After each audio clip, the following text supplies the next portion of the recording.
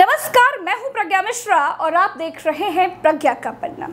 ज्ञानवापी मस्जिद के भीतर वज़ू खाने के वीडियो लीक हो गए हैं। हैरान मत होइए, लीक हो नहीं थे। किस दिन लीक होंगे? बस इसी बात का इंतज़ार था। लीक वीडियो में क्या क्या लीक हुआ है? पहले वो देख लेते हैं और फिर बताएँगे कि वीडियो लीक करके भारतीय संविधान, न्याय व्यवस्था और कानूनी मर्यादाओं की कैसे धज्जियाँ उड़ाई गई हैं।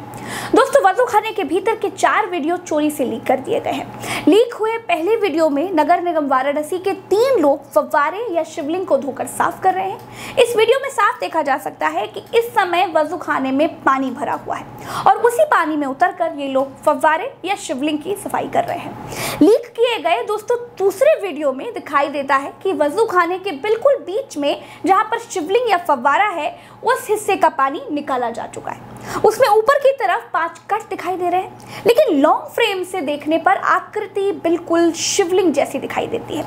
लेकिन उस आकृति पर लगे हुए पाँच कट फिर से फव्वारा कहने को मजबूर कर देते हैं। लीक किया गया तीसरा वीडियो बहुत ही ज़्यादा क्लोज है। इस वीडियो में दिखाई देता है कि फव्वारे या शिवलिंग के पत्थर के ऊपर बहुत सारे उभरे हुए निशान दिखाई देते हैं। हिंदू पट्टी में इसे खुरदुरा होना कहा जाता है, या पपड़ी जैसी आकृतियाँ भी दिखाई दे रही हैं। लीक किए गए दोस्तों चौथे वीडियो में मस्जिद की दीवार पर त्रिशूल बने हुए हैं, ऐसे चिन्ह दिखाई दे रहे हैं, जो कि हिंदू धार्मिक स्थलों और हिंदू निर्माण के प्रतीक भी है। अब इतना सब देखने के बाद आपका परसेप्शन क्या बना? इधर या उधर का, कुछ तो बना ही होगा।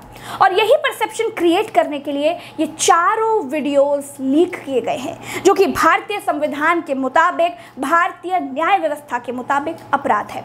ये वीडियो किसने लीक किए? इसकी जाँच के लिए सीबीआई जाँच की मांग की जा रही है। हिंदू पक्षकार कहते हैं कि उनको सील लिफाफा मिला था। सील लिफाफे के भीतर सीडी थी और चारों में से किसी भी पक्षकार ने लिफाफे की सील नहीं खोली है।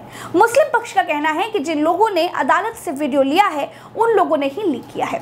मुस्लिम पक्ष के वकील का आरोप है कि इसके पीछे बहुत बड़ा षड्यंत्र है। वीडियो वायरल करने वाले लोग चाहते हैं कि जनमानस को उभार करके देश में अशांति फैलाई जा सके। वीडियो लीक करना और सार्वजनिक करना अदालत के आदेश की भी अवहेलना है। दोस्तों, सोमवार की शाम को अदालत की तरफ़ से सर्वे की रिपोर्ट और वीडियो के साथ फोटोग्राफ भी पक्षकारों को सौंप दी गई थी। दोस्तों, पक्षकारों को रिपोर्ट सौंपने से पहले शपथ पत्र भी लिया गया था। शपथ पत्र में इस बात का ज़िक्र था कि इसे सार्वजनिक नहीं किया जाएगा, लेकिन फिर भी वीडियो लीक हो गए। मामला कोर्ट में है। भारतीय न्याय व्यवस्था में सबको यकीन है। जो होगा वो आज नहीं तो कल पता ही चल जाएगा। लेकिन भारतीय न्याय व्यवस्था का मज़ाक उड़ाने वालों को, कोर्ट के आदेशों के साथ खेलने वालों को सख्त से सख्त सजा ज़रूर दी जानी चाहिए। कानून से ऊपर तो कोई नहीं हो सकता। जो लोग न्यायालय के साथ मक्कारी करके वीडियो लीक कर सकते हैं, वो कुछ भी कर सकते हैं। दोस्तों, इस वीडियो में इतना ही। चलते हैं। राम राम दुआ सलाम। जय हिंद।